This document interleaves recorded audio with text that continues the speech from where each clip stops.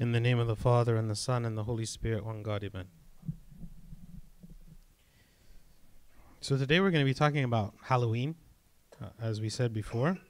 Um, we know Halloween is uh, fast approaching, and a lot of times we have questions about, you know, should we practice this? Should we celebrate Halloween or not?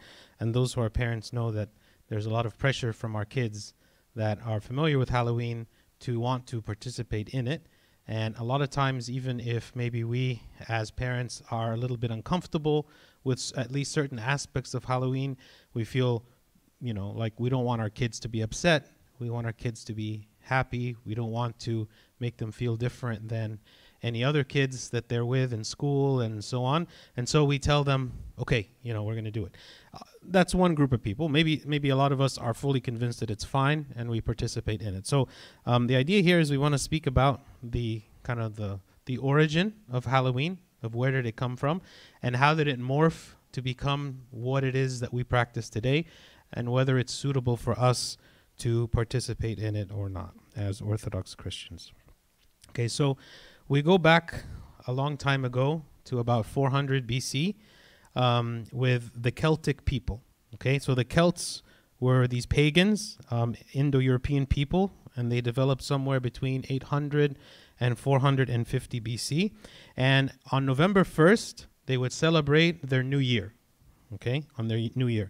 And this marked like the end of the summer and the beginning of, like the winter time.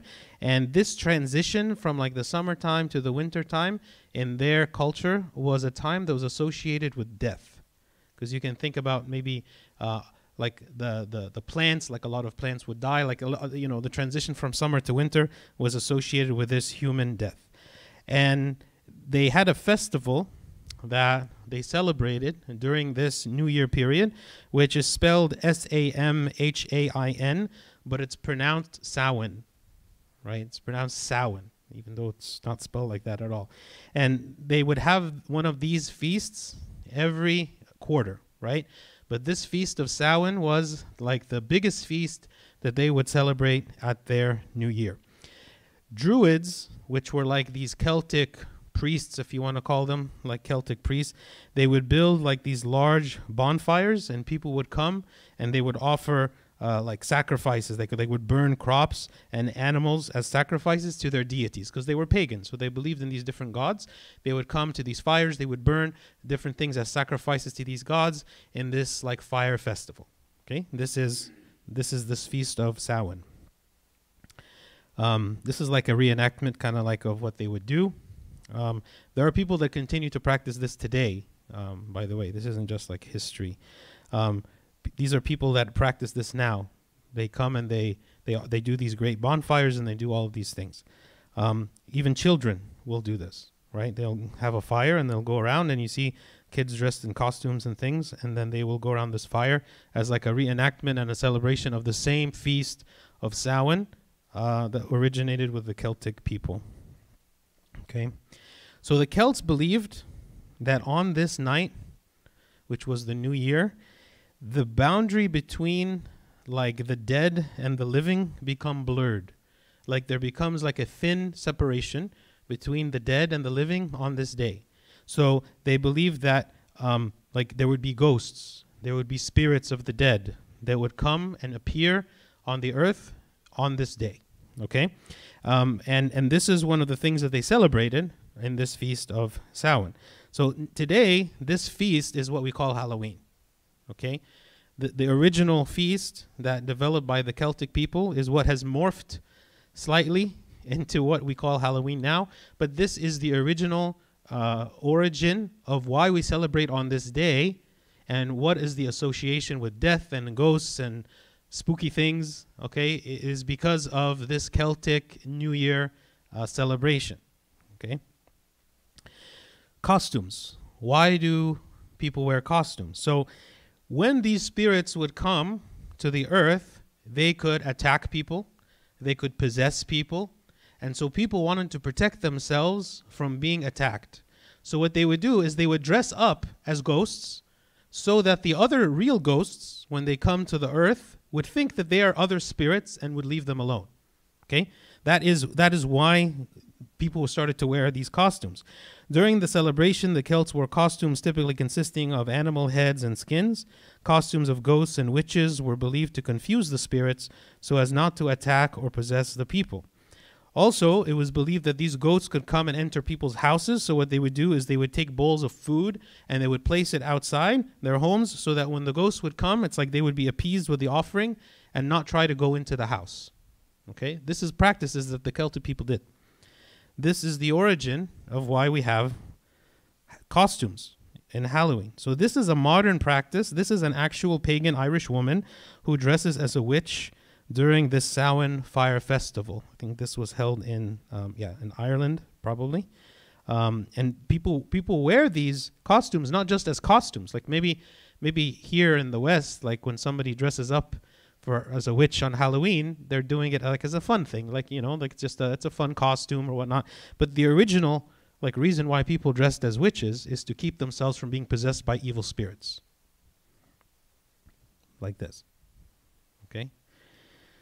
So you see how what started it out as a very pagan and a very demonic activity, over time, people have kind of like stopped thinking about that origin and I've stopped thinking about how this all started, and now it just becomes like a cute little thing that we encourage for kids to do, and we think that it's innocent and fun with nothing bad associated with it. Fortune telling, okay? you've heard of the practice bobbing for apples, right? Bobbing for apples is a practice where you have like a big bucket of water and you put apples in it, and you'll just kind of like dunk your head and try to grab an apple with your with your mouth, right? Okay, it's it's it's innocent, right? What is the origin of bobbing for apples?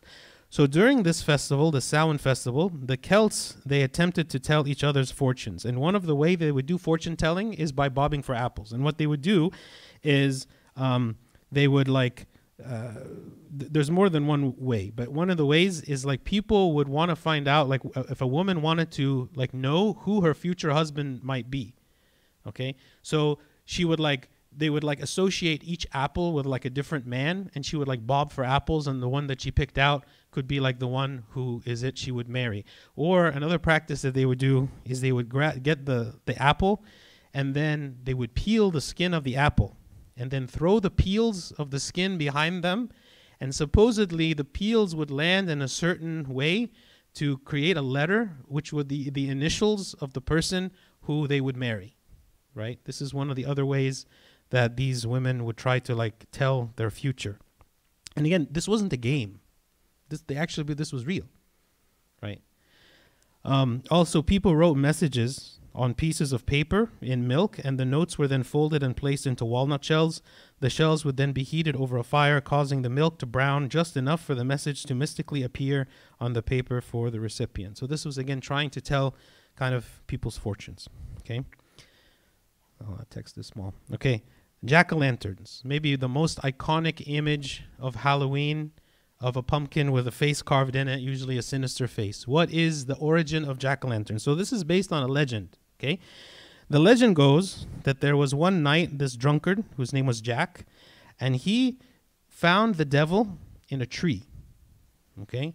And so what he did is he carved a cross into the tree, and by doing this, it prevented the devil from ever coming down from the tree. Because the devil like couldn't come down, I guess, from the tree because the cross was there. Okay? So in exchange for letting Satan climb down, Jack had him vow to never claim his soul. So essentially, he told the devil, Okay, I will let you climb down if you promise never to take me to hell. Okay? So then Jack lived a sinful life, and when he died, okay, he wasn't allowed into heaven because he was a sinner. But the devil also kept his promise and said, What? I can't accept you into hell either.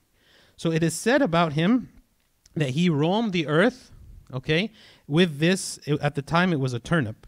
Okay? Satan upheld his end of the deal, hurling a piece of coal from hell at the dead man.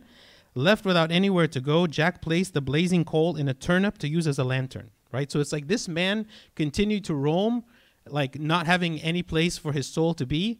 And he took this piece of coal that the devil threw at him from hell and he put it in a turnip as a lantern. Okay? And he walked around with it forever.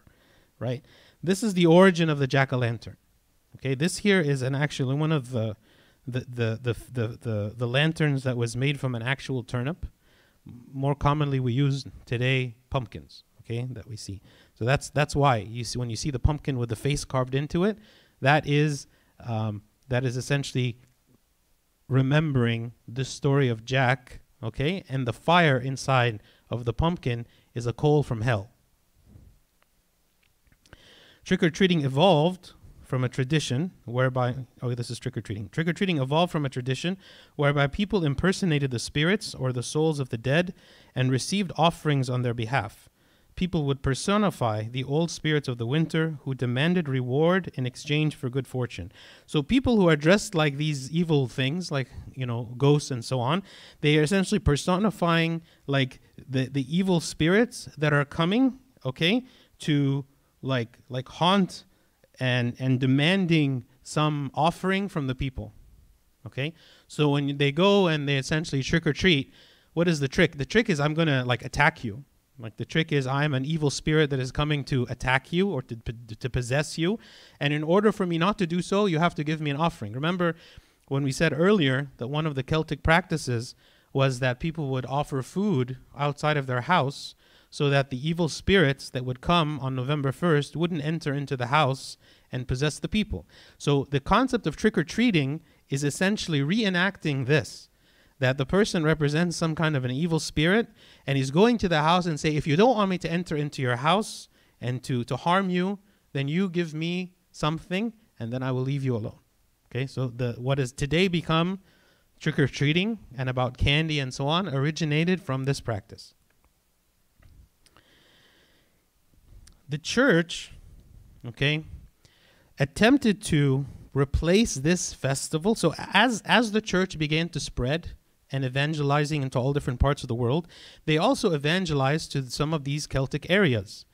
And so the church now has all of these people that are um, practicing this, and, and now some of them are converting to Christianity.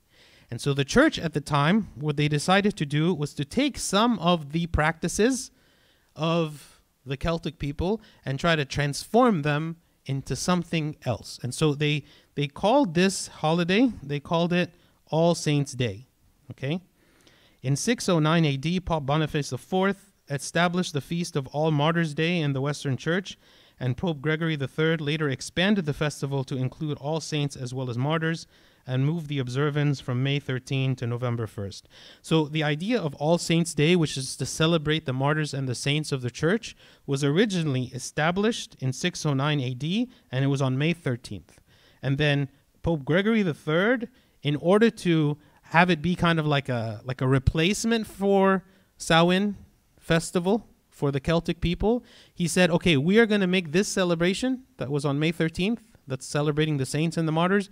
We are going to make it now on the same day as, uh, or, or sorry, on November 1st, which is the day after the Sow, or, or no, that is the the Samhain festival. Okay. Also, another day called All Souls Day was celebrated on November 2nd, similarly to Samhain, with big bonfires, parades, and dressing up in costumes as saints, angels, and devils. Okay, so the term Halloween means hallowed evening, which is the night before All Saints' Day.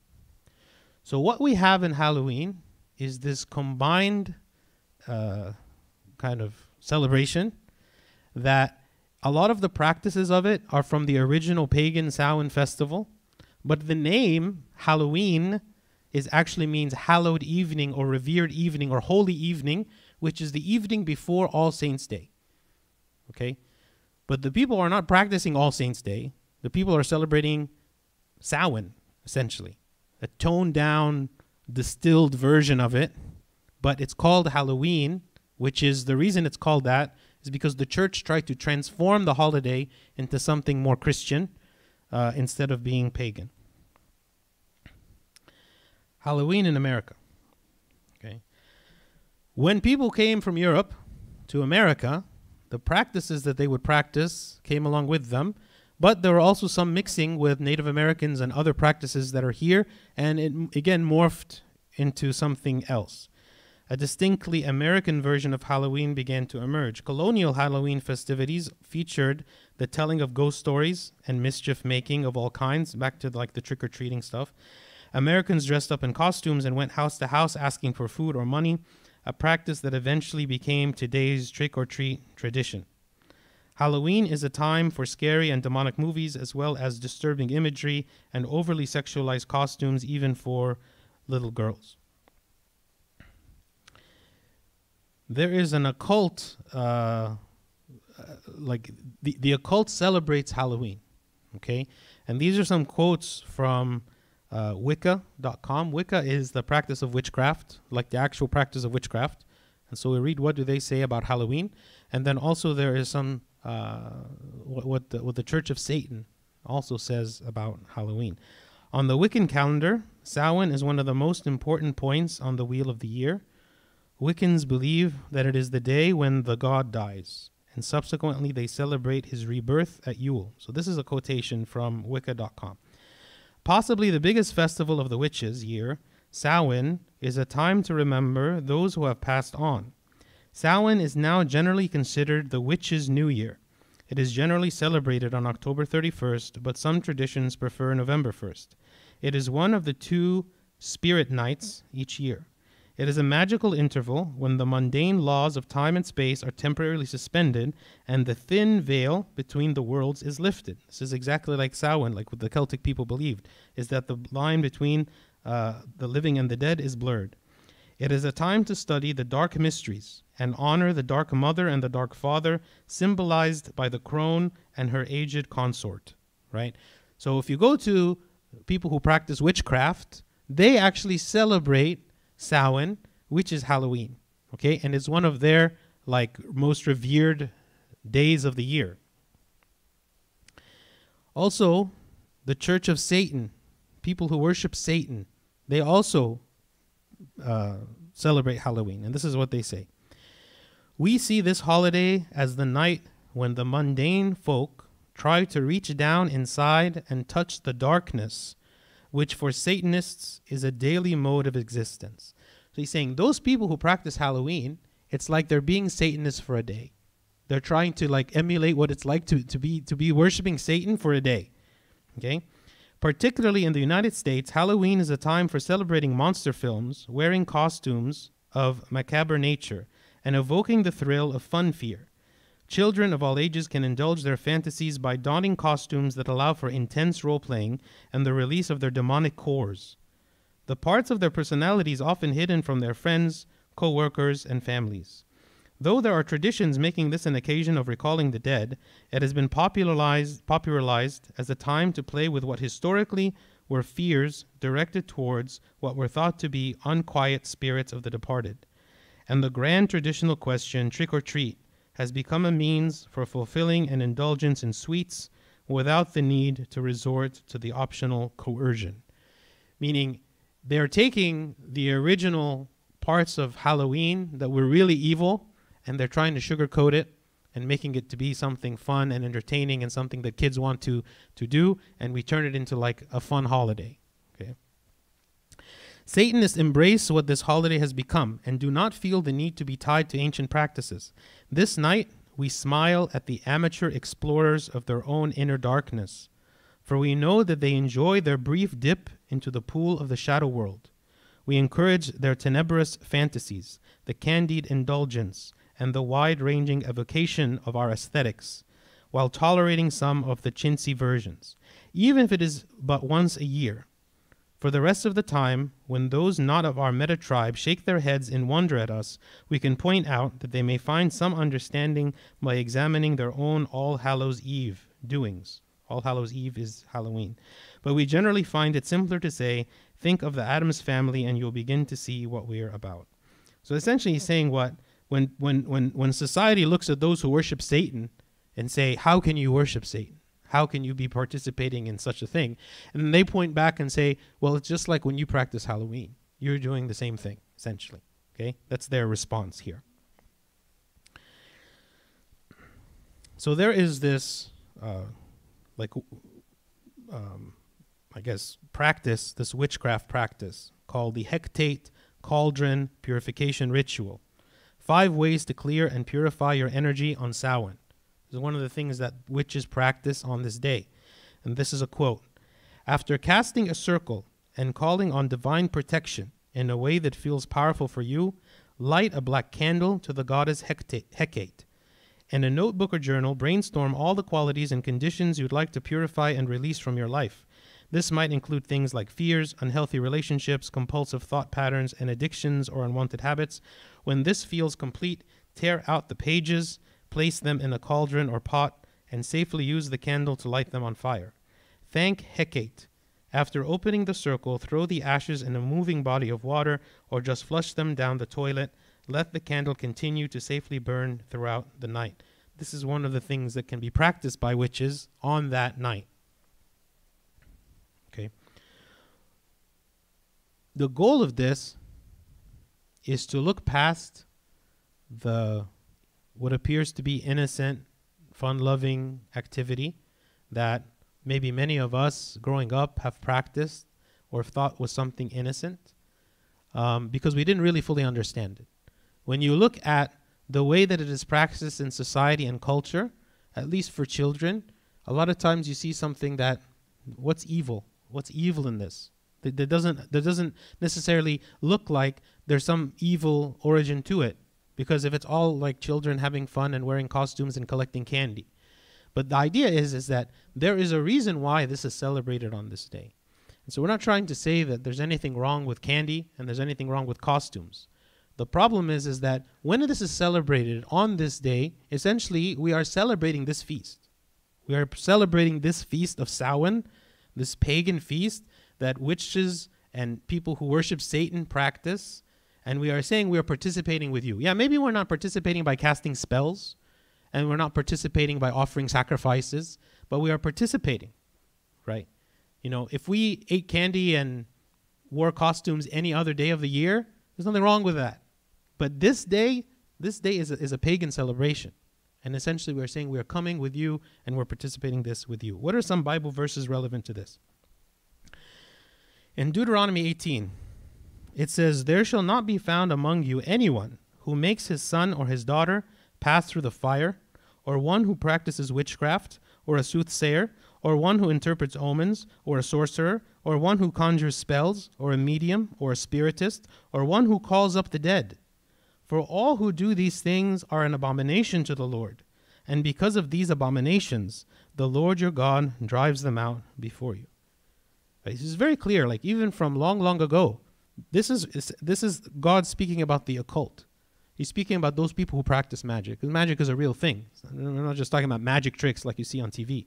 There is real magic. There's real demonic power that people wield and they use.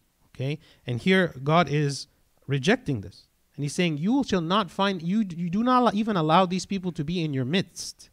So if God is telling us that we should not even allow these people to be in our midst, then why would I dress up as one of them and go around pretending like I'm one of them? Like, how is it that God would see this? Right? Why, why, why would God approve of this? If he says, Don't even let these people be among you. In Leviticus 19, he says, Give no regard to mediums and familiar spirits. Do not seek after them to be defiled by them. I am the Lord your God.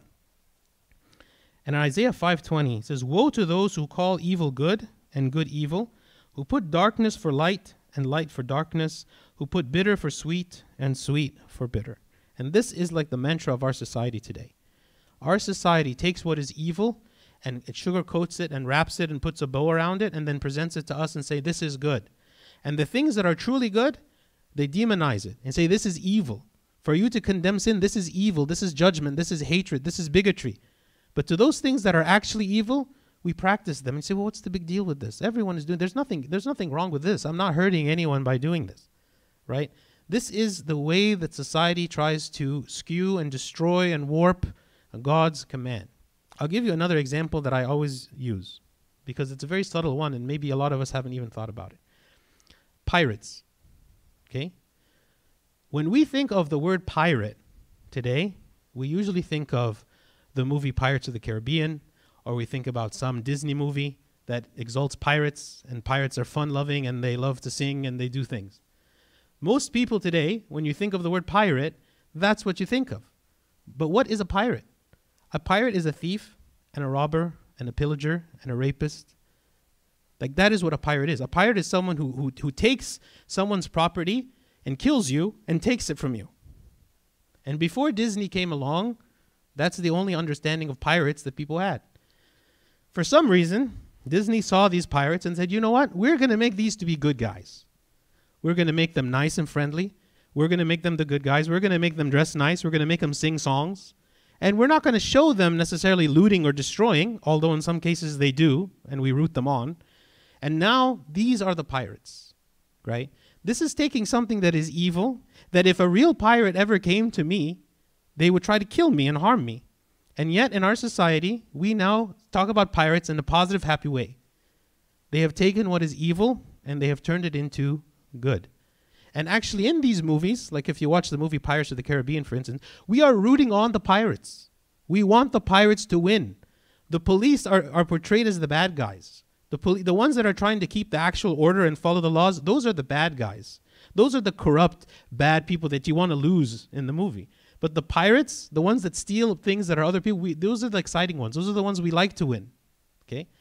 This is another example of the same pattern where the society takes something that is evil and packages it in a way that makes it to be good.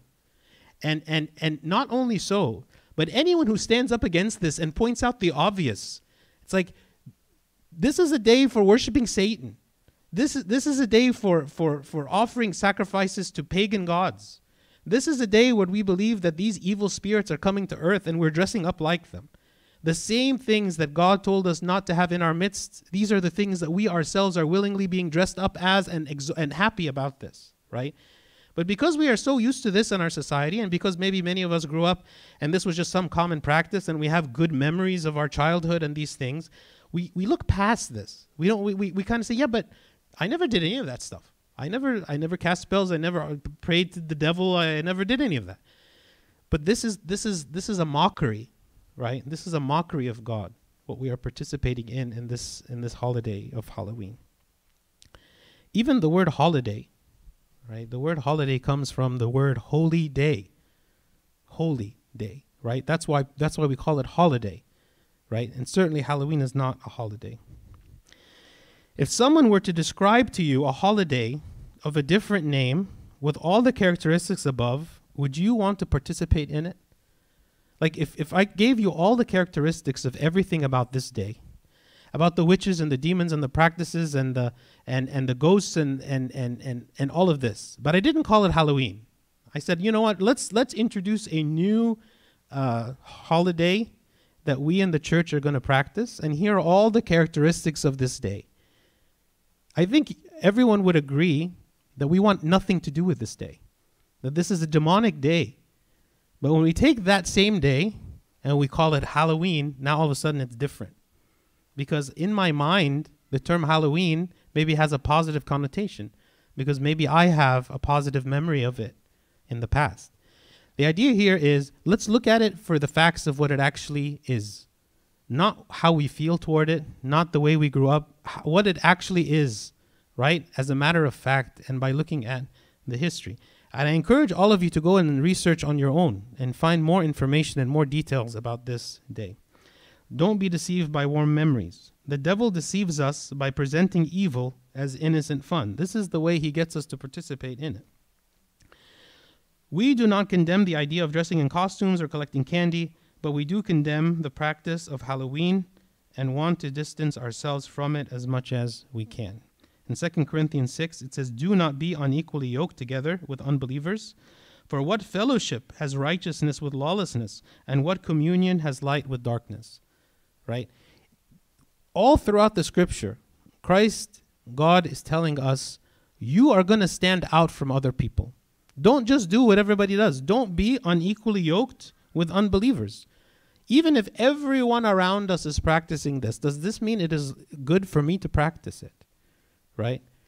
It is our role, it is our Christian duty to stand up for the truth, for what is right. And even if we get backlash and even people mock us and people don't understand why is it that we don't practice this, tell them this is why we don't practice it. This is a demonic day. This is a day for for worshiping Satan. This is this is this is this is a day, and speak about the origin of it. Make people understand why. We're, it's not like we're avoiding this day because we're fanatics. Even a secular person, if they understand the origin of this day, I think many would be uncomfortable with it, right? Because it's it's uncomfortable. It's uncomfortable to understand what is this holiday that we are participating in. Does anybody have any comments or questions about this? Yes.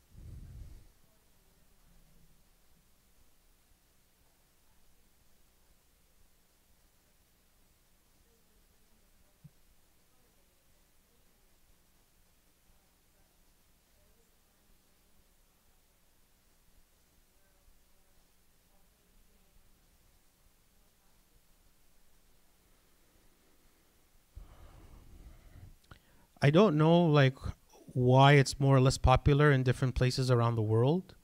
It's my understanding that people even starting to practice it in Egypt. Uh, so so hmm?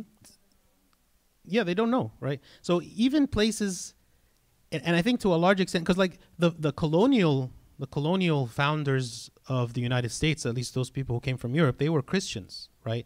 And for instance, if you think about the Puritans or you think about those people that were very religious, like you know the idea that they would practice such a thing, I don't know specifically which groups of those would practice this or not, but I I want to say that it's more just like we took some practice that we were used to doing without fully understanding it, and now we're just beginning to adopt it. So perhaps people in Europe had a better understanding of the origin of it, which is why less people practiced it.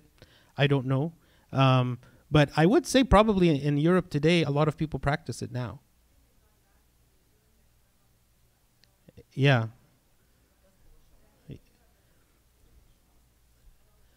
Yeah. I mean, I remember when I was a kid, yeah, Halloween was a thing, but it wasn't to the level that it is now. Like today, it's like they're pushing it almost to eventually supersede Christmas as being like such a holiday every year I feel there's more emphasis on it. There's more emphasis on it uh, because yeah, people make a lot of money, you know, off of these holidays. So I think different people have different reasons why they celebrate it. You know, the corporations they don't care about anything. All they care about is the money. The the pagan people they do celebrate as a religious holiday, and the Christians are just kind of like, okay, it's fun, you know. So maybe everybody practices it for a different reason. But yeah, I'm not really sure about that.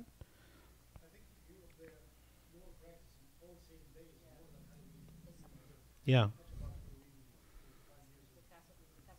Yeah.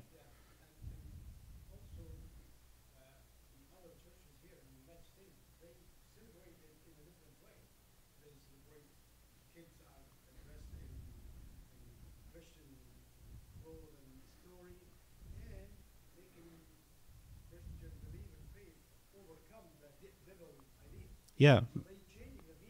Man, which is why the All Saints Day was placed on this day because it was supposed to be a, like something to counteract the original meaning. And even the term Halloween is the Christian word, right? So it's it's it's it's confusing. Uh, we were talking yesterday about the Day of the Dead. The Day of the Dead is a celebration in Mexico, which is also corresponding to Halloween, where they also it's like a mixture of Christian belief and of pagan belief. And so anyone coming to practice this, it's like you have to go really understand like what are what is this? You know, like for instance, in the Day of the Dead, they make altars in their homes with food. So believing that the spirits of dead family members come to their house and you're like welcoming them into your house by offering food, which as Christians we don't believe this. But there is a Christian component to the day where you are like praying for the dead and remembering the dead, you know. So a lot of times these days are like a mixture of all kinds of different things and it's confusing to fully like understand how it all came to be.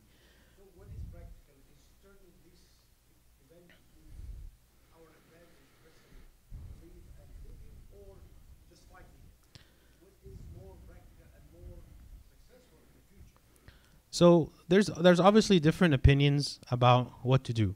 Um, in historically in the church when there have been like uh, pagans that have been converted to Christianity yeah, in large numbers, there have been situations where the church would actually take the pagan temple that the people were using to to pray to the idols, and they would like essentially bless it with holy water, and they would turn it into a church, right? So that's one approach. Like take what is pagan and what we call baptize it and to make it something that is holy.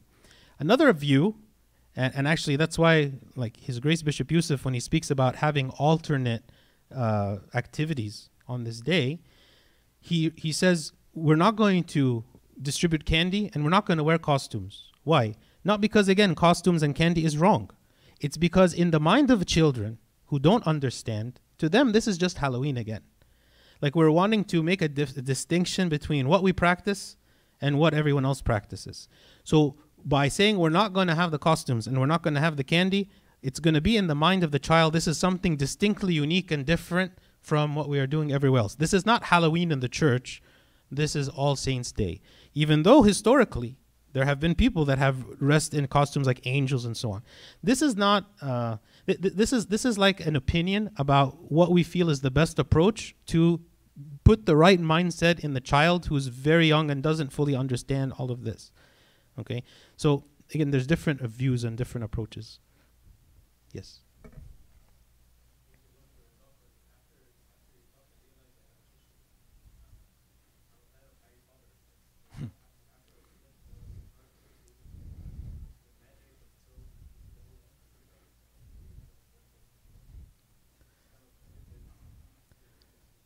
Uh, e- exactly. It's the same concept. Yes. Yes.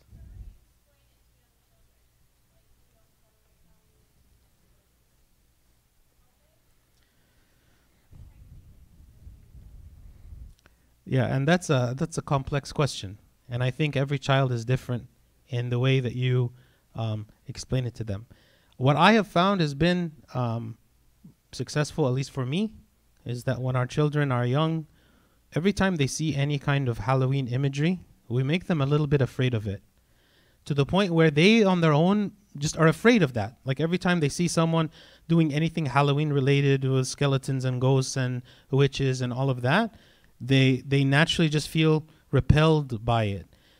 And we can give them candy anytime you know like like we, we, we give them the candy like they don't have to feel like halloween has anything exciting or or or or favoring to them like something that they want to do. So my opinion about that is every time there's any kind of halloween imagery you, you, you, you make a comment to them about how you don't like that and that's really bad and you want to avoid that. And over time i think it begins to develop in their mind to when on their own they begin to see it that way. Like i'll speak about my daughter for instance. When she starts to see now uh, like halloween decorations in the neighborhood like in the house around us every single time almost we see it. She's like oh i don't like halloween you know because because she's afraid of those images because i have helped her to be afraid of them um, over time, right? So I think the more something just becomes normal and natural that we just see on an everyday basis, then kids are fine with it because it's normal. But when the parents begin to make them feel nervous about it, just like what, don't talk to strangers, you know? And the more we tell them don't talk to strangers, when they see strangers, they just run because there's a stranger. I don't want to be anywhere near a stranger because my parents told me that this is bad. So I think that begins to develop their thought process that Halloween has dangerous aspects. They're not going to understand all of this. So I don't think talking about all of this is necessarily, at least at the very young age, going to be helpful. It's more just, I, I, I'm, you know, mom and dad have said this is bad, and it's bad for me. So even though I don't know what it is, I'm just, I want to stay away from it.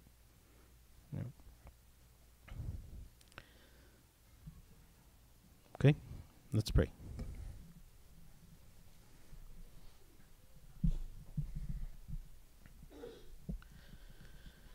In the name of the Father, and the Son, and the Holy Spirit, one God, amen. We thank you, O God, for this day, and we thank you for all the blessings that you give us. I thank you, O God, because of your goodness and kindness, and because you call us to holiness.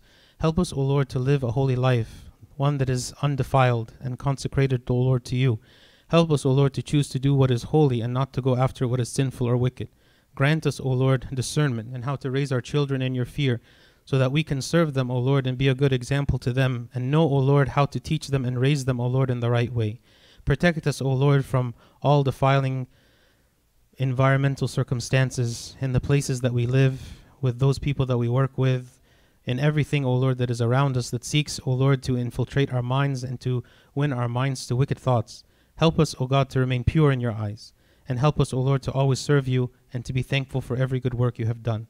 Through the prayers of Saint Mary, Archangel Michael, Saint Paul, Saint Mark, and all your saints, hear us as we pray thankfully. Our Father who art in heaven, hallowed be thy name. Thy kingdom come, thy will be done, on earth as it is in heaven. Give us this day our daily bread, and forgive us our trespasses, as we forgive those who trespass against us. And lead us not to temptation, but deliver us from the evil one. In Christ Jesus our Lord, for thine is the kingdom, power, and the glory forever and ever. Amen. The love of God the Father, the grace of the only begotten Son, our Lord God and Savior Jesus Christ, and the communion and the gift of the Holy Spirit be with you all. Go in peace. The peace of the Lord be with you all. Amen.